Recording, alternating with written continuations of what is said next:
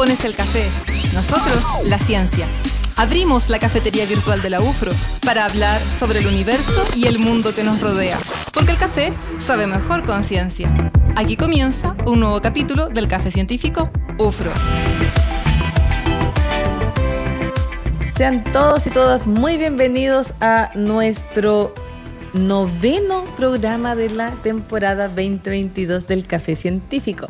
Soy Antonieta Silva, académica del Departamento de Ciencias Físicas y quien conduce este programa el día de hoy. Em, Hoy día estamos transmitiendo a través de las pantallas de UFRO Medios, el canal 38.1 en Temuco y Padre Las Casas, canal 48 en Telefónica del Sur y la señal online de ufromedios.cl. Además les recordamos a todos que tenemos nuestras redes sociales, que son cafecientífico.ufro. El día de hoy vamos a hablar de un tema así como muy de serie norteamericana, de muy, muy entretenido que es la odontología forense. Vamos a desmitificar algunas cosas.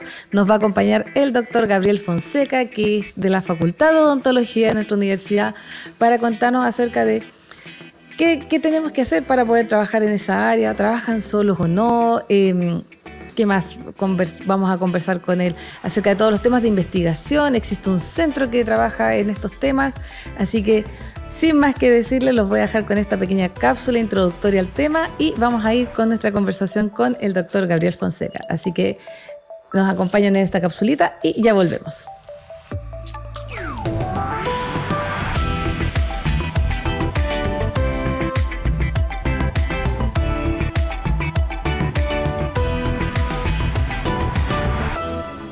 La odontología forense es la rama de la odontología que trata del manejo y el examen adecuado de la evidencia dental y de la valoración y la presentación de los hallazgos dentales que pueden tener interés por parte de la justicia. Esta área es fundamental para la identificación de un cadáver o restos, además de ser encargada de la investigación. Al momento de un caso delictivo determinado, es la que se encarga de la recolección y presentación de hallazgos dentales, que ayudan a esclarecer el hecho o que tengan interés judicial. Por ejemplo, ayuda a determinar la edad, raza u otra característica en personas vivas o muertas. También abarca temas de recolección de evidencia odontológica en delitos sexuales, maltrato infantil, responsabilidad profesional, entre otros. Es por esto que esta rama tiene la utilidad en el derecho laboral, civil y penal. Además, es un área multidisciplinaria porque trabaja de la mano con otras ciencias forenses como lo son la criminalística, el derecho, la medicina legal y la antropología forense. Es así como se forma un lazo de unión entre la odontología y el derecho, en lo que respecta al cumplimiento de las leyes, la aplicación de sus conocimientos odontológicos al servicio de la justicia, al recoger indicios y evidencias en el lugar de los hechos, aplicando métodos para identificación humana en la víctima o en los presuntos autores del hecho. De esto y más estaremos conversando con nuestro invitado el día de hoy en un nuevo capítulo de nuestro Café Científico UFRO.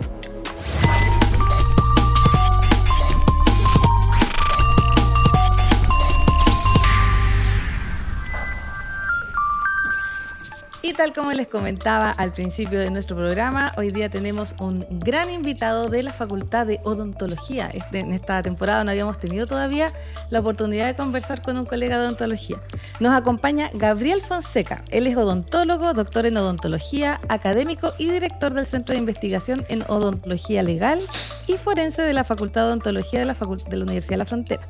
Una de sus áreas de investigación es la criminalística y hoy nos viene a comentar acerca de odontología forense, área que se relaciona con examinar, manejar, valorar y presentar la evidencia bucodentomaxilar y craneofacial ante las autoridades judiciales.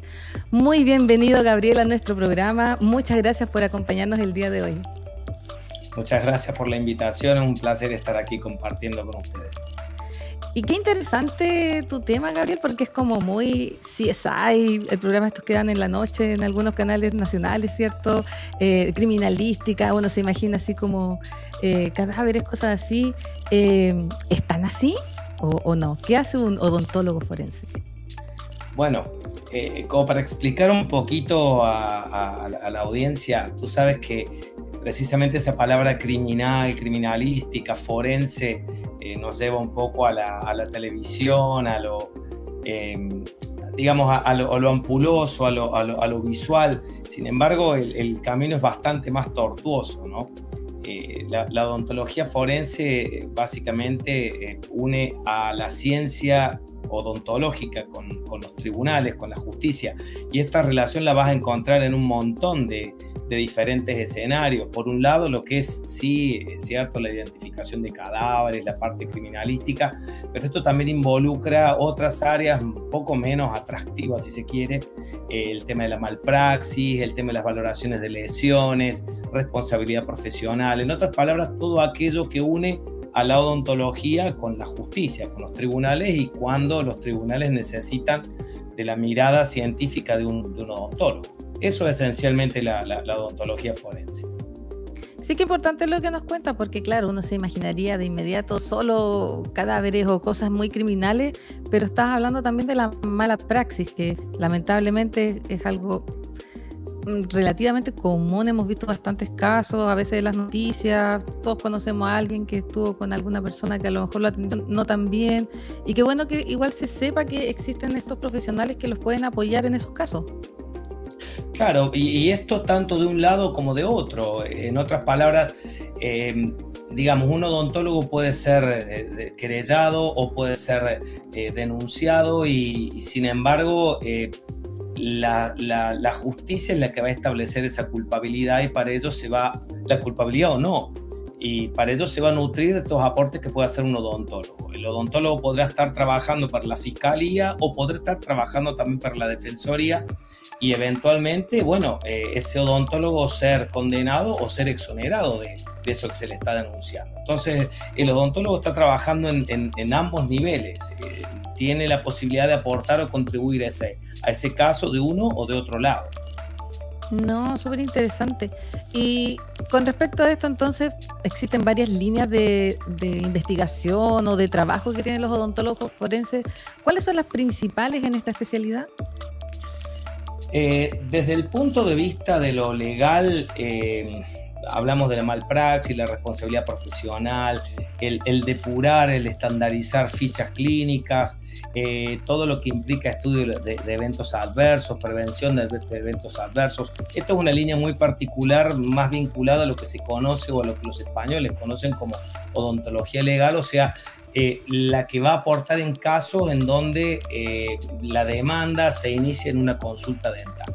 La otra parte, la forense propiamente dicha, siguiendo esta misma línea de, los españoles, eh, sí va más a casos que en su inicio no tienen nada que ver con la, con la práctica odontológica, pero en donde el odontólogo puede contribuir, como te comentaba, identificación de cadáveres, en el ámbito de la criminalística, el estudio de ciertos rastros en la escena o en el, en el cadáver.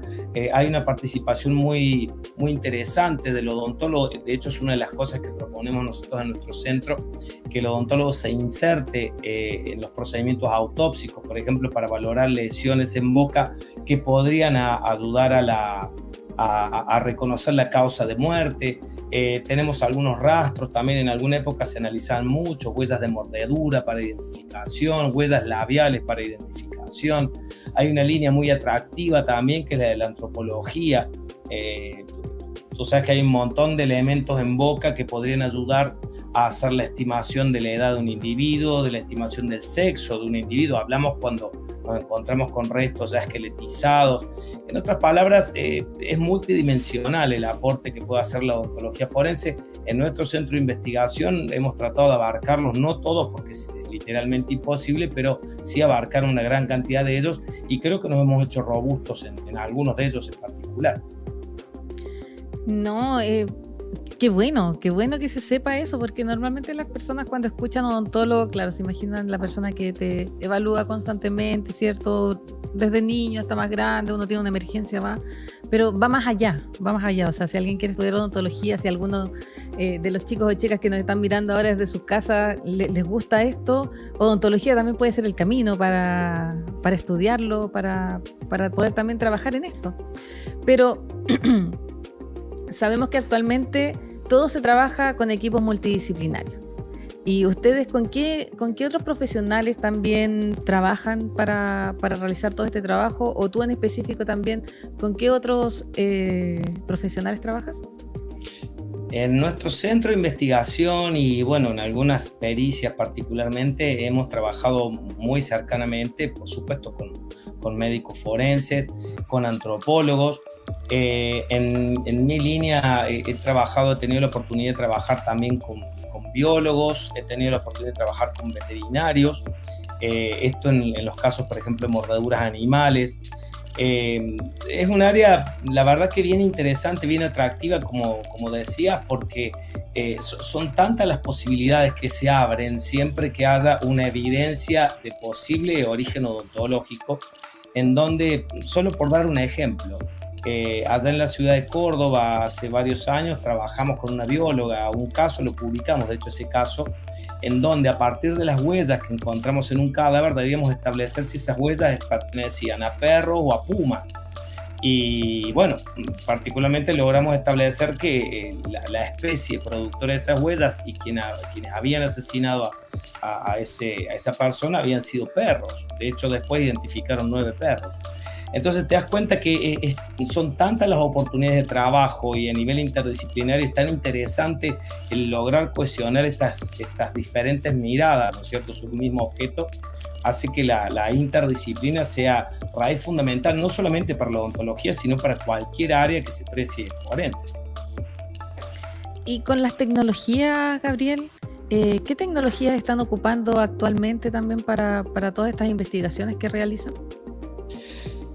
Eh, bueno, una de las áreas, eh, digamos, que más se ha visto favorecida por el ámbito tecnológico es la, antropología, sobre todo en el ámbito de la imagenología. se está trabajando mucho con equipamiento portátil radiológico, por ejemplo, para trabajar en escena.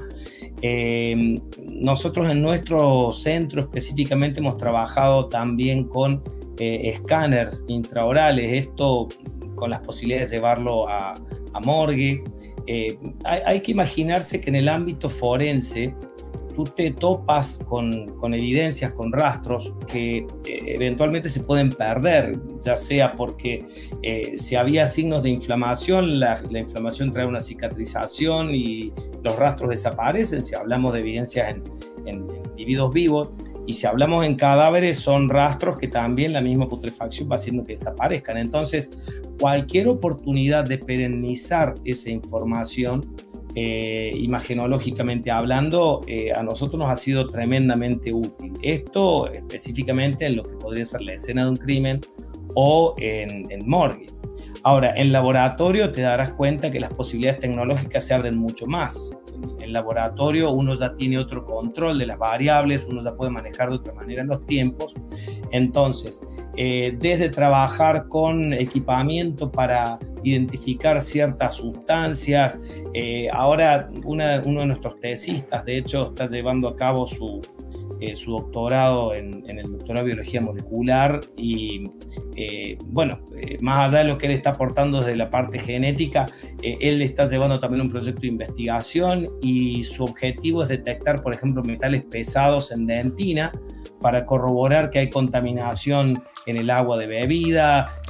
son tremendas, las oportunidades son increíbles. En mi caso particular, yo tengo un proyecto estamos trabajando sobre la racemización del ácido aspartico, esto también con, con el BioRen, eh, para poder hacer estimación de edad a partir también de, de tejidos dentales. Eh, así que creo que me quedo corto para responder tu pregunta porque las, oportunidades son inmensas.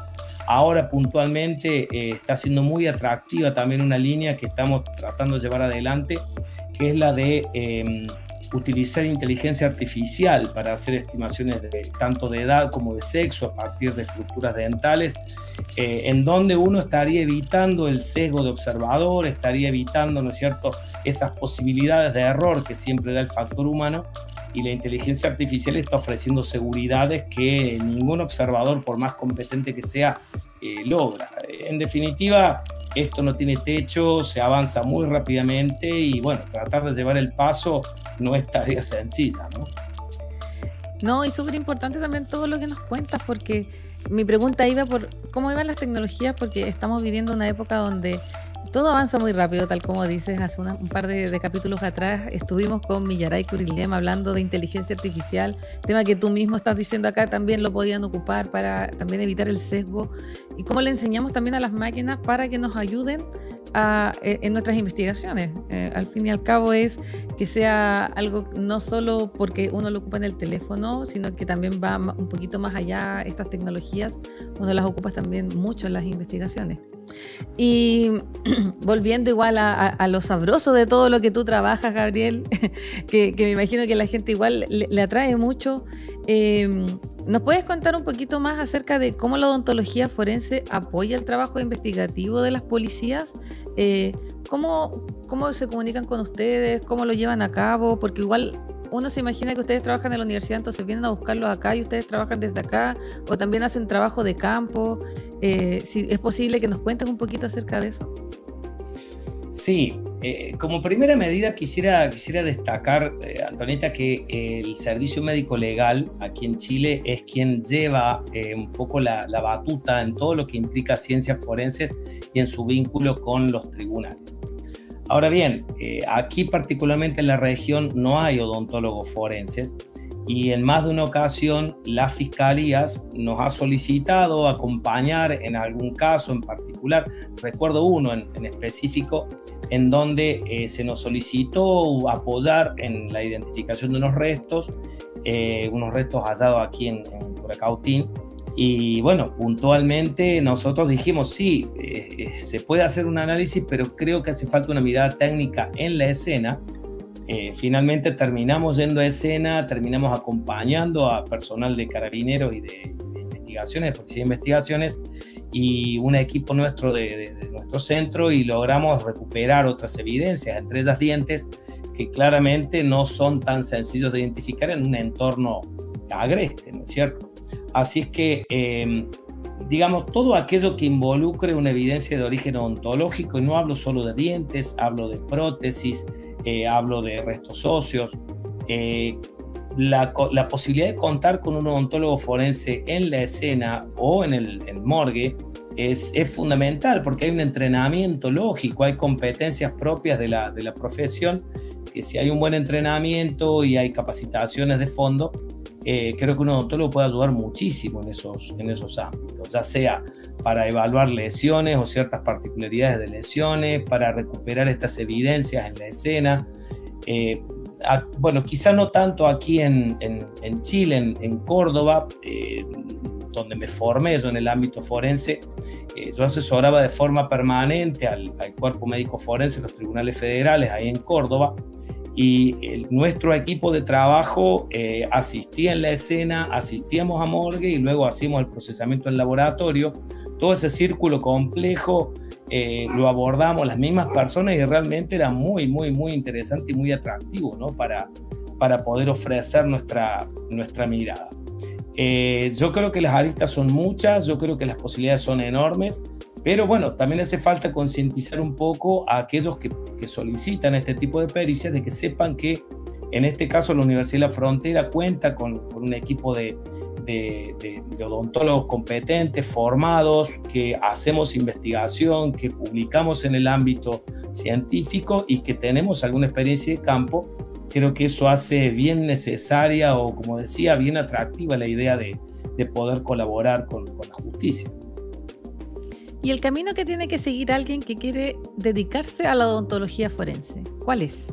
¿Es posible acá en Chile? Dijiste que te formaste en Córdoba. Eh, acá en, nosotros en la universidad está esta especialidad o no. Eh, ¿Cuál es el camino que debiese seguir alguien que, quiere dedicarse a esto?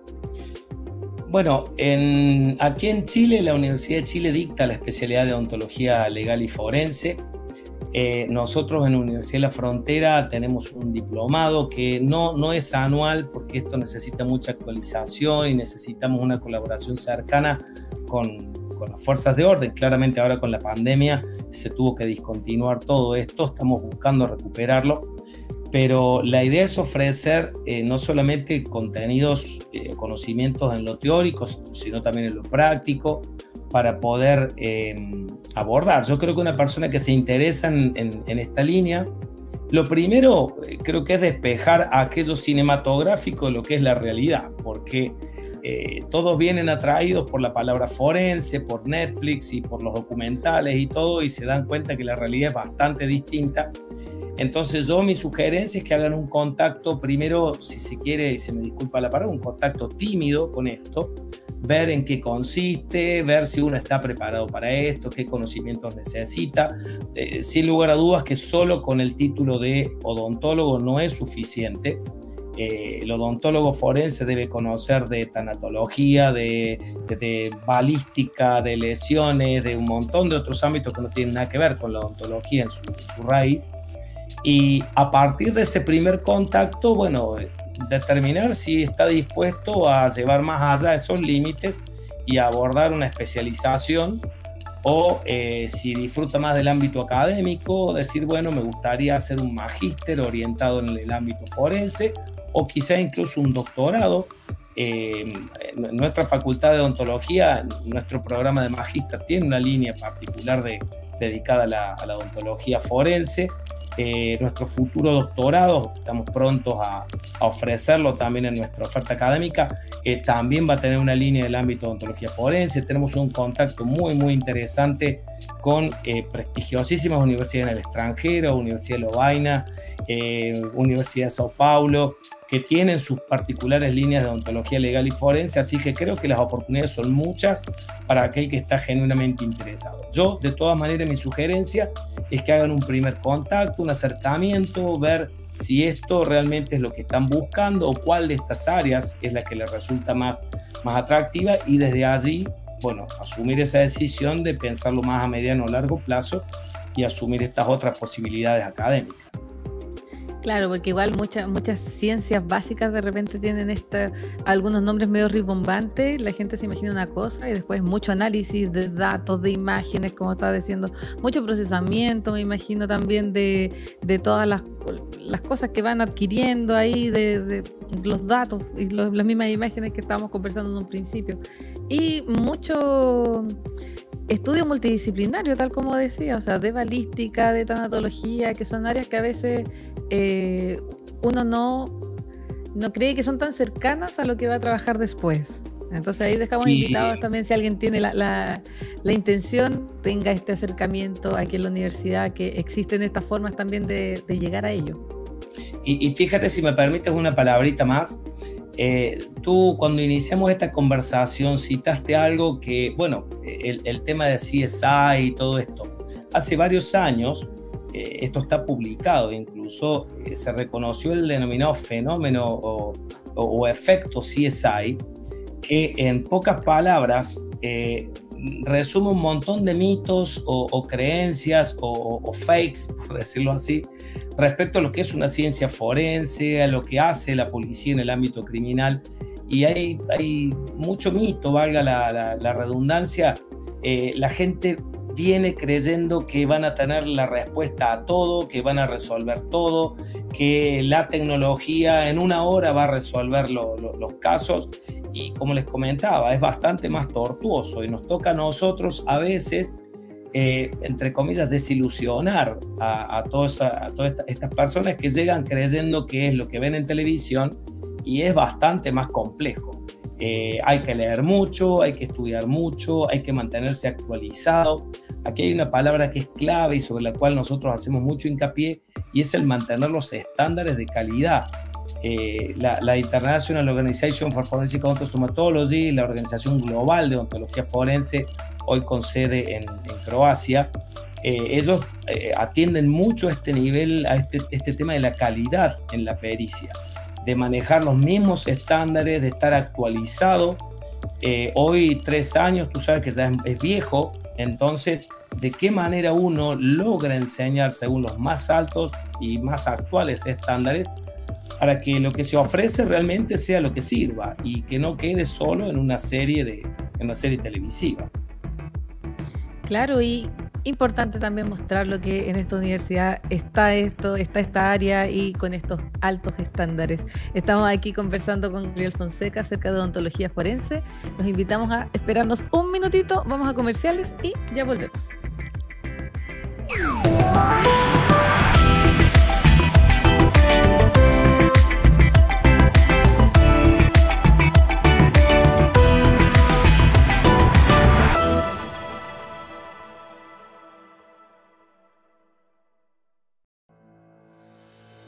Porque nos movilizan las personas y su calidad de vida.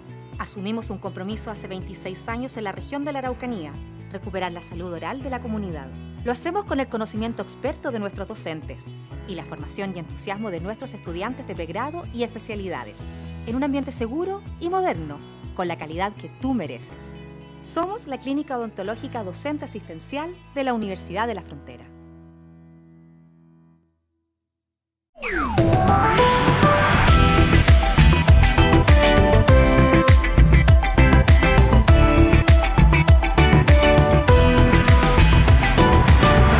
Gracias a todos y todas que nos están acompañando desde sus casas. Estamos aquí en un nuevo capítulo del Café Científico conversando con el doctor Gabriel Fonseca acerca de odontología forense. Estamos transmitiendo a través de Ufromedios, el canal 38.1 en Temuco y Padre Las Casas, el canal 48 de Telefónica del Sur y la señal online de ufromedios.cl. Además les recordamos que nos pueden seguir en nuestras redes sociales. Tenemos Instagram y Facebook que son ambas cafecientífico.ufro. Eh, Gabriel, ya conversamos acerca de todos estos mitos también, acerca de la odontología forense, pero ustedes tienen un centro de investigación en odontología legal y forense. Eh, ¿De qué trata? ¿En qué están ahora? Si nos puedes contar eh, acerca de en qué están trabajando ustedes hoy en día. Sí, nuestro centro de investigación en odontología legal y forense, cariñosamente CIO, para, para, para quienes nos conocen, lo que busca es eh, apoyarse más que nada en el ámbito investigativo, en el ámbito académico, eh, reforzar a este programa de magíster en odontología, a los diplomados que van saliendo, recibimos internos eh, internacionales, generamos plataformas para tesis de, maestrías o tesis doctorales pero sobre todo un refuerzo, como bien dice la palabra, de, investigación. Tratamos de posibilitar la, obtención de recursos, eh, generar incluso un apoyo eh, sustantivo de, profesionales formados en este ámbito. Tenemos una gran colaboración de, Universidad de Chile también en este, en este ámbito. Eh, y hemos logrado una red bien interesante a, nivel Chile y a nivel Sudamérica con colegas de Argentina, de Brasil, de Perú, de República Dominicana. Hace muy poquito enviamos una, este, una estudiante de nuestro magíster, la enviamos a República Dominicana a hacer práctica de morgue, ha estado casi dos meses haciendo práctica de morgue, todo en el ámbito de su tesis de maestría. en resumidas cuentas, la idea un poco hilando con lo que comentamos antes de, del corte, eh, es, em, bueno, apoyar la, formación, apoyar con recursos, apoyar con, eh, con competencias y sobre todo apuntando a los, a los estándares. Em, me ha tocado a mí presidir durante muchos años la Sociedad de Odontoestomatólogos Forenses Iberoamericanos. Hoy soy secretario de esa sociedad esta sociedad tributa a la Asociación Global, a la IOFO que mencionaba también hace unos minutos, y vuelvo a lo mismo, la investigación hoy es una necesidad en el ámbito forense. Eh, no voy a entrar en elementos técnicos, pero ciertos casos muy renombrados, muy controvertidos, dieron como conclusión de que eh, uno puede estar haciendo una pericia, pero la pericia debe estar sustentada muy convenientemente de forma científica. Esto va de la mano de la calidad. En otras palabras, quien se llame perito o testigo experto debe tener suficiente formación, debe tener conocimiento, actualización y ahí la ciencia es la que resume absolutamente todo. Entonces nuestro centro lo que busca es ofrecer esa base científica. Em, hoy tenemos un Fondes irregular, eh, tenemos em, cuatro o cinco diufros también. Eh, yo estoy participando al menos en tres proyectos internacionales, todos en el ámbito legal y forense, autología legal y forense. Y bueno, evidentemente que esto se corona con, con, productividad, con publicaciones, tenemos un muy bonito ranking de publicaciones y creo que esto es lo que de alguna manera resume la actividad de nuestro centro de investigación. Ha ido creciendo muy de a poquito, eh, hoy lo conforman unas 25, 30 personas entre estudiantes del pregrado y académicos ya formados. Eh, sigo apuntando a este tema de lo interdisciplinario. Tenemos una veterinaria que está vinculada con nuestro trabajo, tenemos dos antropólogas. Eh, creo que la idea de esta interdisciplina en pos de buscar ciencia es, es el ideal y nuestro centro de investigación ha tributado a eso. Y actualmente como país y región, ya que estabas comentando acerca de tributar para que el ámbito científico también crezca y estemos un poco más cerca quizás de, otros países que lo llevan hace más tiempo, ¿cómo estamos como país, como región? ¿Faltan especialistas? Dijiste que, por ejemplo, acá en la región no había odontólogos forenses. ¿Son muy escasos acá en Chile? Em, yo creo que hace falta un refuerzo. Eh, también estoy convencido que en los últimos años ha crecido mucho. Si uno mira hacia atrás, yo llegué aquí en el año 2012, era muy distinto el escenario. Pero eh, si uno toma un poco los estándares internacionales, ve lo que está pasando en Europa, ve lo que está pasando en Australia, países de primer nivel en cuanto a la práctica odontológica forense, nos falta mucho. Aquí en Sudamérica, indudablemente lidera Brasil esto, eh, Perú ha avanzado muchísimo también. Nosotros estamos, estamos bien, vamos por buen camino, pero creo que todavía nos, nos falta. Eh, aquí yo mencionaba, en la región, particularmente el servicio médico legal no tiene odontólogos forenses. En algún momento lo conversamos, no vieron ellos la necesidad de momento, pero bueno, yo creo que la mirada del odontólogo siempre es una contribución, siempre es un aporte. Eh, hay muy, muy buenos y buenas odontólogos y odontólogas en, eh, forenses en el servicio médico legal, pero bueno, eh, yo particularmente tiendo siempre a mirar hacia arriba y no hacia abajo y creo que nos falta un poquito, nos falta algún refuerzo que yo creo que va a llegar oportunamente.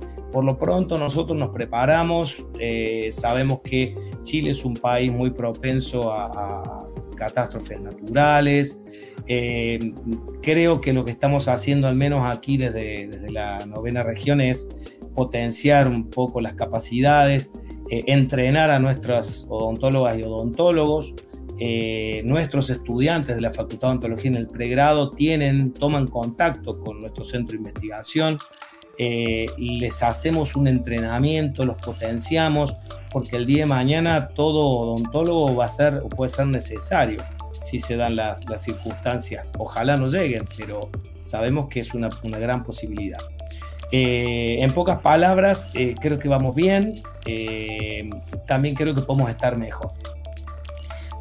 Pero igual colocan su gran granito de arena con este centro y además son muy productivos, entonces se nota, se nota la pasión que también le ponen ahí y a disminuir esta brecha quizás que existe con estos otros centros.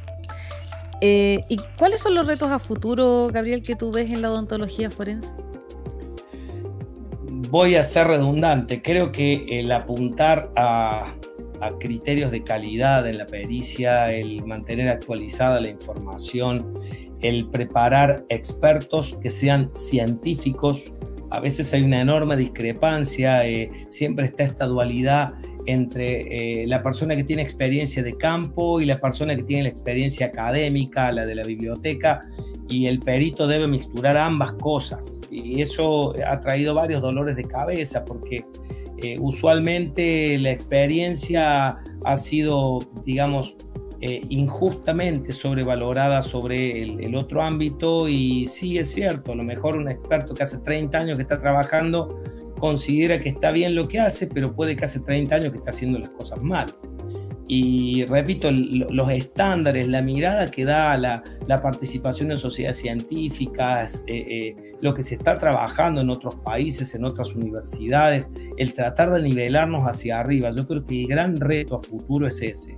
El, el, el, dejar de mirarnos el ombligo, el empezar a mirar lo que se está haciendo afuera, el empezar a marcarnos con estándares potentes eh, hay gente a nivel mundial tremendamente preparada, tremendamente preparada. La semana pasada tuve la oportunidad de, participar en, un congreso en la Universidad de Sao Paulo, en Ribeirão Preto, que creo hoy lidera en Sudamérica el ámbito de la ontología legal y forense. Y participé de una serie de workshops ahí con gente de Noruega. Estamos hablando de lo más, la, crema de la crema en el ámbito de la ontología legal y uno ve, este, la doctora Sigrid Val, por ejemplo, un, prócer en el ámbito de la ontología legal y forense este, noruega, ella comentaba cuál era la, el entrenamiento que daban a sus estudiantes del pregrado Y claro, uno dice, yo quiero eso, yo quiero traer eso aquí a Chile, quiero implementarlo y estamos en, en vías de hacerlo. Eh, yo creo que esa mirada internacional, repito, la palabra estándar es fundamental, la palabra calidad es fundamental, la palabra ciencia es fundamental. Creo que cualquier reto que uno decida asumir a futuro debe incluir esas tres palabras.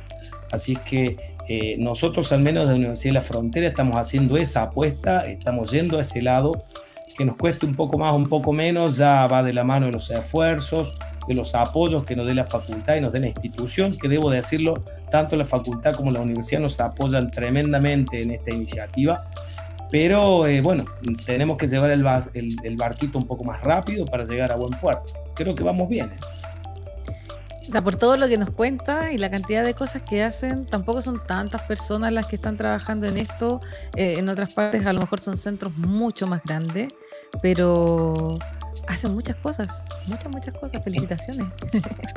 Eh, y Gabriel, eh, ya pasó volando, volando el tiempo aquí. Para terminar, me, me, imagino que va a volver a ser redundante todo esto, pero ¿qué le recomendarías a alguien que le interesa esta área? Que a lo mejor eh, estudiantes que están ahora casi dando la, prueba para entrar a la universidad, están viendo algunas carreras, dice que le gusta odontología, pero no sabe, está descubriendo esta nueva área. ¿Qué recomendación le darías a, esas personas que nos están mirando en este momento?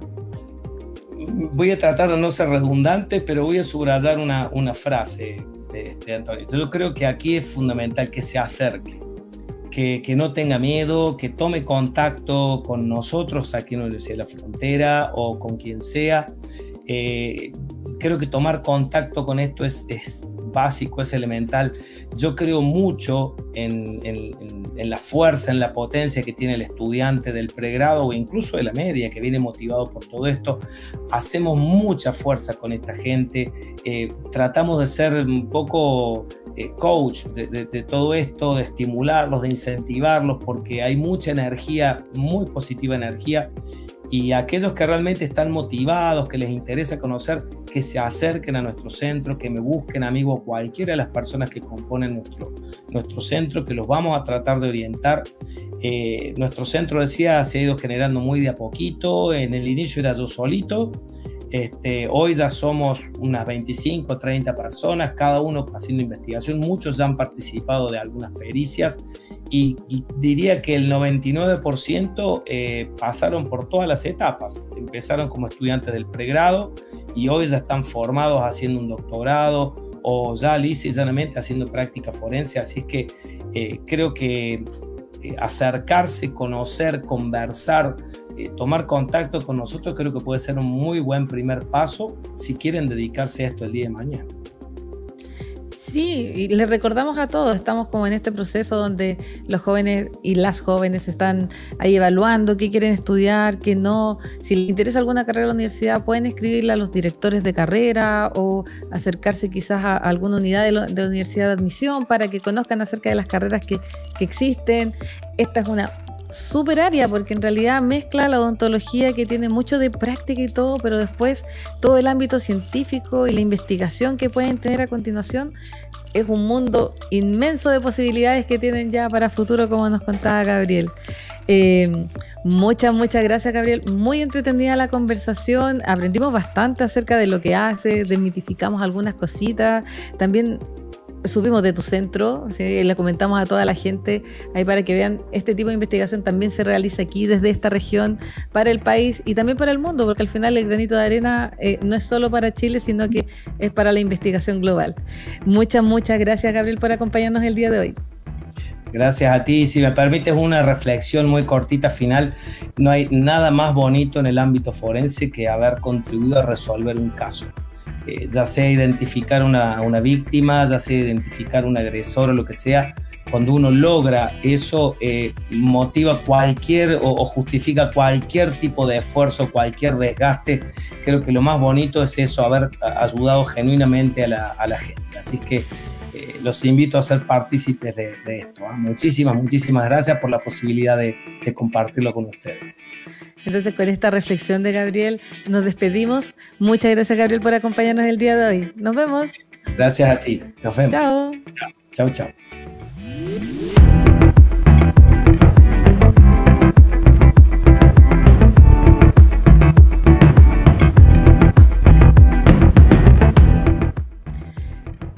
Súper, súper rápido se nos pasó el tiempo de esta conversación con el doctor Gabriel Fonseca, desmitificando algunas cosas, viendo lo importante también que es la ciencia, la tecnología en pro de todas estas nuevas investigaciones en odontología forense, de qué trataba, si era tan CSI como se le imaginaba en la mente o no. Así que le agradecemos nuevamente por habernos acompañado el día de hoy.